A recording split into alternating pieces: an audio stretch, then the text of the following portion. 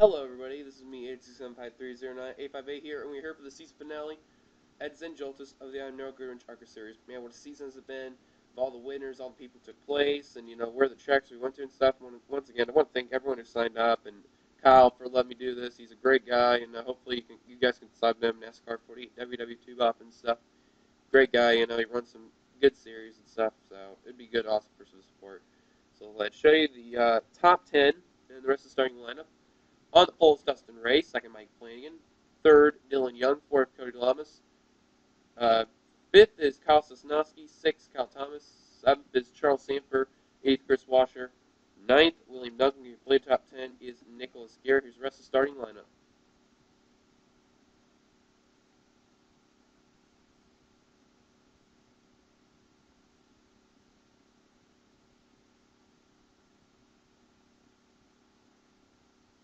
Now let's look at the starting lineup. I want to mention someone real quick. Dan Coates. I made a huge fail about it. The same Dan Coates who's been kicking ass in the series. Uh, I failed when we added up the points. He has actually clinched the spot for the championship. So Dan Coates is going to be your season one Inaural Goodwrench Arca Series champion and he was he barely beat out mathematically on Danny Everett, who finished 30th at Darlington, and I bet you he's regretting that that he wrecked out and stuff. But uh, tough break for Everett, tough break for uh, Jake Williams and Severin Yashmik, the two other guys uh, besides Everett that could have had a shot, but just couldn't get it done. Which, sorry if I didn't tell you that earlier. I realized that I messed up on the points badly. But in the meantime, we still got a race to do here. The season finale at Zen Joltis. 482 cars trying to end the season with a bang. How would it be for Dan Coates if he actually won this with the championship? It'd be huge. But others, they're trying to finish their season on the high note. Some good, some bad. Are we going to see the big one? All will be answered. We all, I think if we also saw it earlier, the IRA Monster Energy Super Speedway Series one here. Man, oh man. Here we go. Green flag is out at Zen Joltis. Dylan Young going to go on the inside there. Dustin Ray has had a dismal season. He hasn't had the you know a good season there in the 25. Hopefully he'll be in the Outback and the Universal Orlando Cup Series uh, when signups come. Hopefully we'll see him there. There's Kyle Sosnowski, INRL president there. He's moved along with, along with three other INRL members, Charles Sanford and William Duncan. All three of them are uh, you know trying to work together here. But William Duncan's going to get moved to the middle as well as Sanford. Let's look at the whole field here. Now, if you notice in the past of my Zen Joltis, uh, it's great racing. It really is. Oops. And, um, you know, I think it was the Outback Series. We went seven wide in season two. Seven wide and made it work. But I don't know how it's going to be this time, though, with, with ARCA and stuff, because they're at different cars, different speeds and stuff, and, you know, anything could happen. But all right, they're they're doing five wide, and one of that cars there that was doing it was Nicholas Garrett. Now they're going back to four wide. Oopsie. There we go. Where is, uh, oh, there he is, right there. I just got him. There's Everett. I'll tell you something. I think he is so mad that he got wrecked out there, and, you know, I think he really wanted to be in the championship hunt badly there, and uh, that's a tough break for the 55 there. And, uh, you know, I think Everett's very disappointed, but, you know, he's been a great, he's a great racer and stuff, and, man, what a season he's had. As actually, look at this who got the lead, Dustin Ray Dustin Ray held on to that lead there. Oh my God. Oh, oh, Eugene, Eugene, get out of there. Oh, oh, oh, oh. oh Trevor Jackson and Eugene DeMax. Goodness me. Tell you what, DeMax. Oh my God, this guy has just had miserable season here. This guy could not catch a break. He just been in wreck after wreck after bad finish after bad finish after wreck after wreck. Just couldn't get anything good in that 35 car. Tell you one thing. Um, he also had the same in the IRA Monster Energy Super Speedway Series. But the question is this: once he comes into Outback and maybe even Universal Orlando, what's it going to be for his first full season? Because this year in his full season, he didn't do pretty good at all. He actually did awful. Man, it was a tough break. But hopefully, Demax can change that around in the 30 um, right now in this 35 car show. That when because you know he came in the uh, top 25 when he raced here in the Outback and you know, he beat uh, Silver Fox in the championship by three points. So we'll see how DeMax will do. there's Jeffrey Buckeye taking the lead away. Oh, damn it! I was looking on the spectator cam and I didn't want that. That's all right. And look at Danny Everett, second in the points. Oh my God, six wide they're going. I don't know how it is in my Zen. It goes six wide and they're making it work. This is insane racing. Oh my God, they're going five, six wide here. Most of this track. One, two, three, four, five, six. Yeah, six wide. They're going. Oh my God, they're almost seven wide. We're done. Oh, Ashley LaPlante, Joseph Lombard, and a few others almost experienced the big one right there towards the mid pack and back of the field. They got to be really careful here. They don't want to cause a mistake there. And look who's moving up. Daniel Hummel as Everett has taken the lead. Oh my God. Oh, I might want to wait on that there because, oh boy, this is going to get messy here. Everett is now in the lead. Hummel's moving his way up to the lead now. And also he's bringing along Paul Swanson as draft help. Nope. Now he's going to move him up. Look at the six. Look at the helicopter view here. Oopsie. There we go. Take a look here. Oh my God. Oh, jeez. No, no, no. Don't tell me. Oh my God. Dan Coates. He's already won the clinch to stop the championship, but he doesn't want to be get wrecked out and stuff. Oh my God. This is going to get insane. Oh my God. This is some big wreck's to happen where like more like 30 plus is going to get involved. I can guarantee because the way how they're racing, this is only lap three, which they're about ready to hit lap four. LaPlante is going to lead the lap. Austin LaPlante, also another one of those people who's had a miserable season. He finished dead last in Daytona and just couldn't rebound after. Oh my God, seven wide, seven wide. Here we. Oh no, that's five wide. Okay, oh that scared me. Six wide. Oh my God, this is just insane. This is Zen Joltis for you folks. Zen Joltis at its finest. This is why it's the track that Enter 2003 has talked about. Just look at the racing they are doing. This is unreal. Just packed up with each other and just unbelievable how they're racing. LaPlante still holding on in the lead. The outside line where uh, Daniel Hummel is, he's trying to help Paul Swanson, or excuse me, Paul Swanson's trying to help Daniel Hummel to lead, but Zach Flickinger is going to help out there. And look at this who's moving his way up to second right while he's trying to, is James Qualls in the 91, who was a championship contender uh, at Darlington, had a lot of trouble. And I'll tell you one thing, he felt disappointed there, but right now he's trying to get his first ever win. He he, he had a few times where he could have won. He won it. He should have. He could have won in Atlanta, but just couldn't. Oh, the caution's out. Oh, there's a wreck, and I see Buckeye. Oh, it's a Max involved. Oh my God. DeMax once again just can't catch a break. Buckeye involved. Leia Walker, Severin Yashmik, Dustin Ray, the pole sitter. Austin Ogo may have gotten held up, and oh boy, this is the part where we really got to keep an eye on who's going to lead at the stripe, and is there going to be a wreck afterward? LaPlante is going to lead at the line. Oh my God, this is where a wreck could happen right now. Oh my God, this is not good. Uh, wait, we're just double checking. Yes, the leader is Austin LaPlante. Oh my God, and they're actually keeping it going. I am so surprised. Oh man, what a tough break though. Oh, Austin Ogo does have a little bit of front end damage in the DuPont car. Dustin Ray's got side side damage on the left. Severin Yashmik as well. Leia Walker, I think she made it through but got held up. There's the Max. Oh no, Leia Walker's got left side damage too. DeMax, uh, his bumper's a little crunched up and uh, side smash there. And Jeffrey Buckeye also having a tough break. If you hear something, that's my dog. But caution's out. Austin LaPlante leads us down for a small caution, surprisingly. Let's take a look at ourselves the first caution of the race. Well, DeMax, just that miserable season. Oh boy. Leia Walker's gonna hook Eugene DeMax.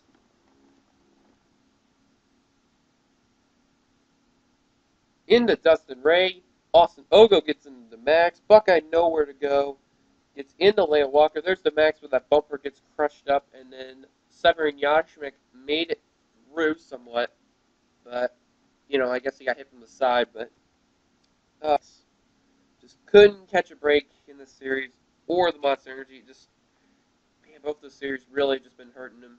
So I guess he's really excited for Outback and uh, Universal Orlando. Outback he's defending the championship, and you know, if he signs up for Universal Orlando, then this should be interesting with the third what uh, Demax can do. But I think he's really going to want to forget this season and the uh, bus energy, though. Demax just having a tough break, though. Caution's out for the first time today. Austin LaPlante barely beat James Qualls at the line. Let's take you back to the green. Well, we're back at the halfway mark here as we're on lap 8 of 16. We'll go back to green with 8 laps to go. No drivers retired out of the race. Very surprising, but we kept it together, and I think it's going to be most of the field that's going to be able to compete. I don't know about um, Eugene DeMax, that, like that there. Anyway, Austin LaPlante is your leader, James Paul second, Nicholas Garrett third, Fritz Luginger fourth, Cody Lamas fifth, William Duncan sixth, Daniel Hummel seventh, Zach Bookinger eighth, Anthony Reese ninth, and complete top ten is Kyle Thomas. 11th through 20th is Chris, Paul Swanson, Chris Washer, Luke Walker, Jacob Lawler, Dan Coates, Tim Walsh, Drew Austin, Justin Townpass, Jerry Garrett, and Danny Everett completes the top 20. 21st through 30th are Hayden Klein, Mason Wood, Mike Flanagan, Daniel Day, Cody Breckham, Kyle Sosnowski, Austin Geit, Ashley LaPlante, Charles Sanford, and Henry Nova completes the top 30. 31st through 40th are Trevor Jackson, Joseph Lombard, Dylan Ogo, Jake Williams, Dylan Young, Brandon Chan, and then the cars were damaged from 37 on back. Austin Ogo, 37, Jeffrey Buckeye, 38, Luke Wa- Leia Walker, 39, and 7 Joshua in 40th. He does have a little bit of front end damage, as you can see. And the rest of the field, Eugene Maxon, 41st, and 42nd, Justin Ray. As real quickly, I'm going to let my dog in, and uh, I might not be on the commentary for a few seconds here, but bear with me. I have to let my dog in.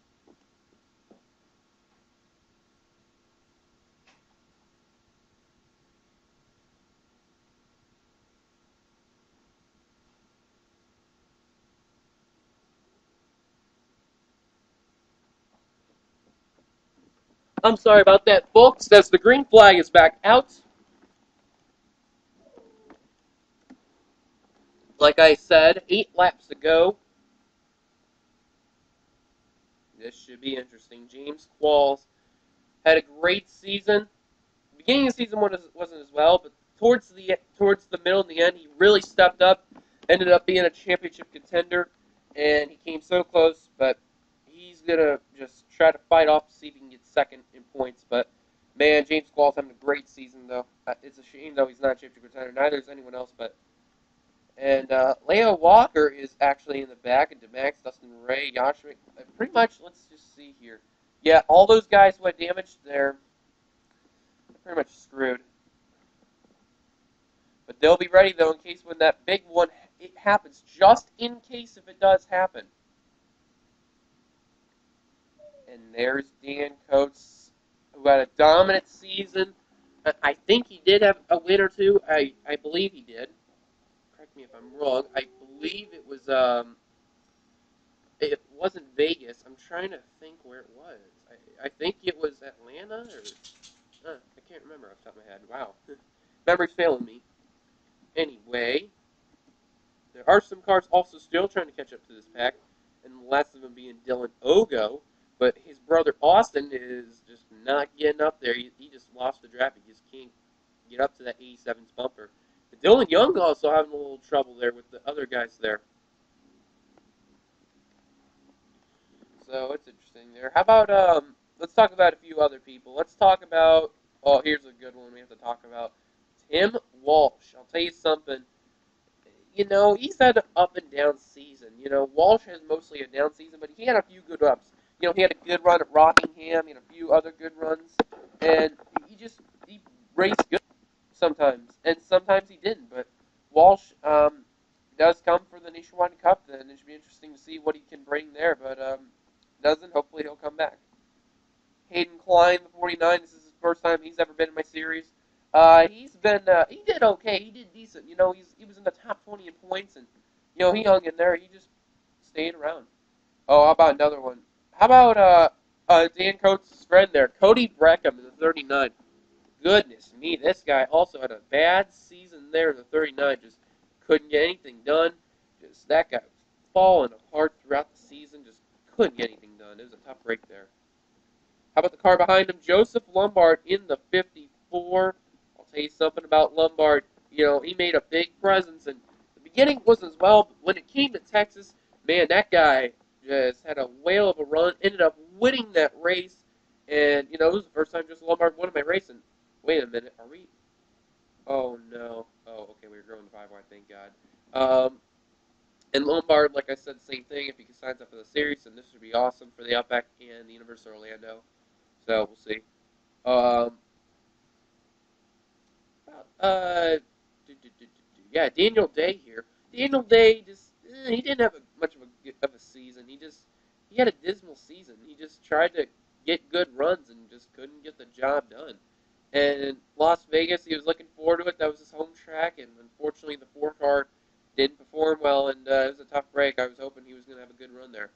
How about Mason Wood in the 33? I'll tell you something. He won at um, Kentucky, and Wood, you know, he had a quiet season. He didn't make much noise or progress. He just really had a quiet season. Not a lot of people, you know, counted on him, but he did pretty good in the Paul Menard machine, though, so it was good to see him there. How about the guy who's leading right now, Trevor Jackson, the 79?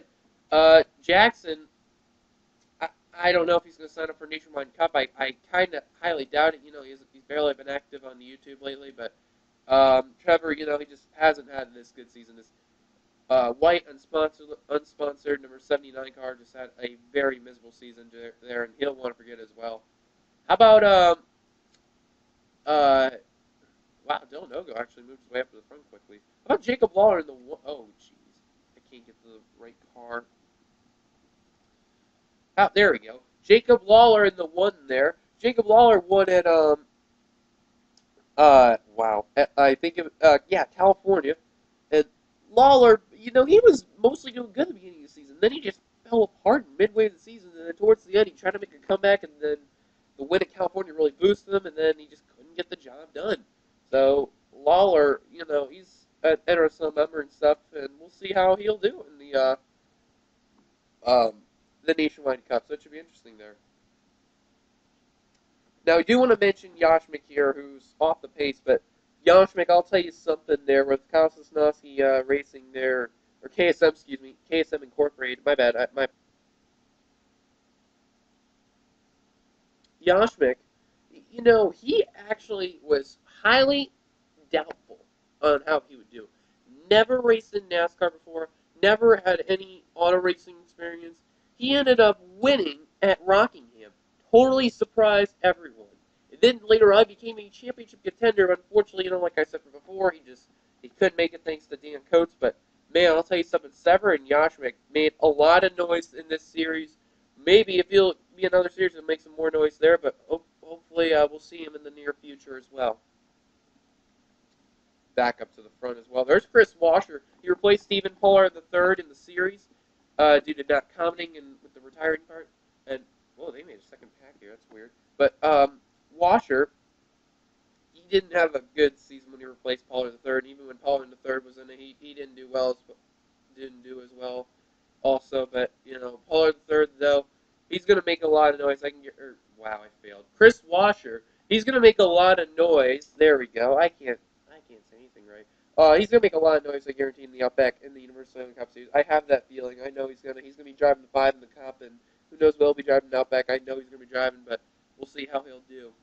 How about William Noken in the 46? This is also his first time in my series, and also an INRL member. William has actually did pretty good this season. You know, he, he came in the top 15 in the standings most of the season. Won at uh, Pocono, and uh, his good buddy Charles Sanford also won as well. Uh, we'll get to him in a moment. But um, William Duncan in the Frank Kimmel car, Advanced Auto Parts Ford, he actually had a really good season. And a lot of people, you know, knowing William Duncan, he could do some noise. He didn't make a lot of noise like he would, like a lot of people expected to do, but he won a he won a race, so it's a good thing for him. Speaking of iNeuro members, how about Charles Sanford in the 44? Sanford, you know, you know him from a bunch of series, but Sanford, he actually won at um the race after, which I couldn't think of it off the top of my head. Race three. Um, uh, uh, memory's failing me. Wow. Um, probably come back to me on that. But Sanford, he had the one win, and then just after that, he tried to become a championship contender, did, and then he wrecked out and just couldn't come back after that, and it was a tough break there. How about, um, oh, whoa, holy crap, they're getting racy. As we are on lap 14 and 16, three laps to go. Uh, let's talk about a few other drivers. There's uh, oh, there's Jake Williams. We do want to mention him. Yes, he was the Talladega winner, which you know Talladega, always known as an un- underdog track, meaning the people who race there normally underdogs are the winners. And I'll tell you something, not a lot of people pointed out Jake Williams as an underdog there. Proved them wrong and won that race. Later on, became championship contender, like I said about before. Just couldn't catch up and just lost the chance thanks to that away car. As we're getting ready to near two laps to go, uh, who else are we going to talk about? Austin Geit in the 59. Geit didn't really have a good season. You know, he tried coming back in Talladega and almost won it. Uh, there was a track, I think it was not Daytona, um, Coca-Cola, no. I can't remember. It, was a track when he came so close to winning, but Geit didn't really have that well this season. He wrecked out a lot as well as uh, DeMax and a few others, but man, just, he had a tough break there. Um, and this is the first time in, in my series for him as well. Drew Austin, the same for him. He didn't have a good season as well. Um, Brandon Chan in the 34 there, you see, uh, who's uh, the first in the inside line. Kyle Thomas, first in my first time he's ever been in my series completely. Uh, they're going about six wide there. Henry Nova in the 21. He didn't have a pleasant season or dismal season. He just did okay. He averagey season there. But Nova, you know, still racing. He's hanging in. As they're still racing on here. Jacob Lawler taking the lead. Uh, we will talk about uh, or actually, nah, we, we're getting ready to get into the white flag, and this is where crunch time can happen, so I think I better stop talking about drivers there and uh, get ready for the finish here. And real quickly, want to check. There's Leia Walker. She's on turn two. Okay, he's got to turn four, so I doubt they're going to catch up to Leia Walker. But here we go. Coming up at turn number four, Anthony Reese. Oh, he made a rookie mistake there. He went on the high side to Jacob Law. I doubt he's going to get back on the inside line, but the white flag is waving. For the final time this season, white flag is out at Zen Joltis. Only one wreck took place for now, and they have been keeping it clean, not wrecking each other. They're racing really smart here. And oh my God, am I seeing this here? Dan Coates is getting closer to that lead. Oh my God, imagine if he takes it. Ashley LaPlante, though, she's got to change of plan. She's going for the lead now. Dan Coates, he's getting closer. He brought along Daniel Hummel there, who's got the same similar car colors as him. This is really going to help him out. And here comes Cody Breckham also into the picture. He might have a chance. There's still plenty of time left. They're just on the backstretch here. This is where it's going to get good here. Dan Coates, I think he's peaking. I think he's peaking. Yes, he is. Dan Coates going for the lead. Ashley LaPlante has the lead. Dan Coates is going to change it right now.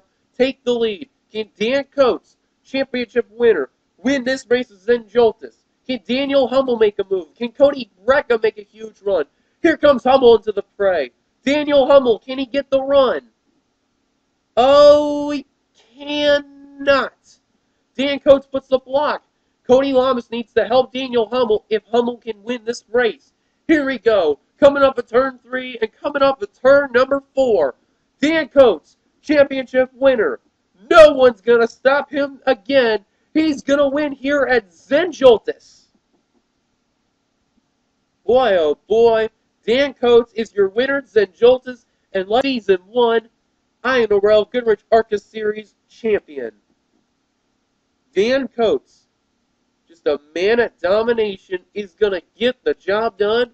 And he's and I, from what I've heard from Qualls before, he's going to be added on to the list in the IROC Racing Championship roster in that um, series. So that should be interesting what Dan Coates can do in the 08.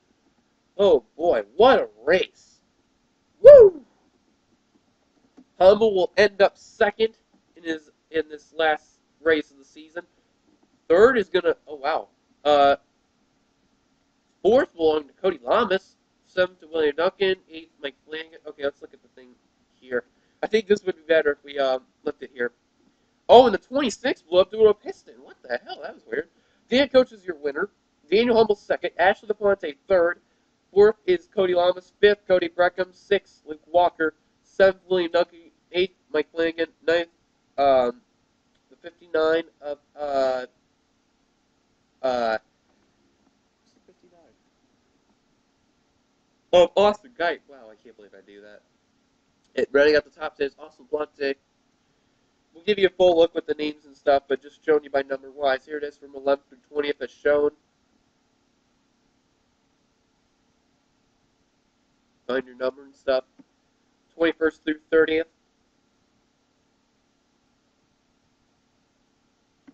31st through 40th, and uh, 35 cars were in contention for this win. And then, unfortunately, the last two, they're Leia Walker, way behind, just had so much damage.